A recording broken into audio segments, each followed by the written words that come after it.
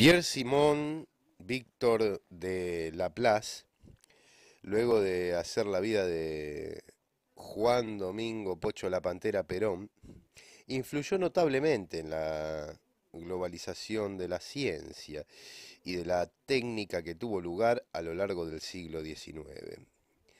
Con el apoyo de Napoleón dibujó las instituciones científicas de la nueva Francia postrevolucionaria y suya fue la firma al pie del decreto que hizo obligatorio el uso del sistema métrico decimal.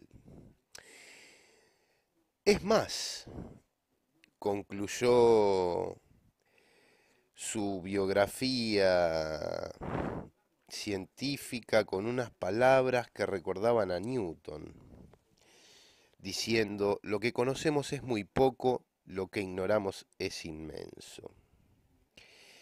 Era frecuentemente llamado el Newton de Francia, Pierre Simon de Laplace.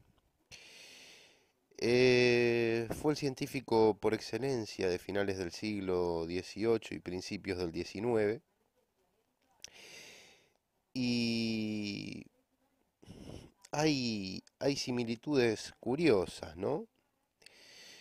Eh, por ejemplo, cuando Newton descubre la, manzana de las luces, donde se expone que el arte, por su gravedad, a veces eh, está muy cerca del piso cuando lo sueltan, porque el arte pedestre es eh, como muy poco celestial y cuando hablo de celestial me refiero a los cielos, no a la religión.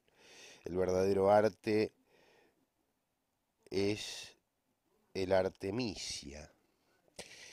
Gentileschi, que fue una artista, mujer, que descubrió que hay un, machismo negativo y un machismo positivo, así como eh, Pyongyang descubrió que hay un feminismo positivo y un feminismo negativo y eh, es fanático de Soda Estéreo, por eso es que siempre canta Tengo un misil en mi placar.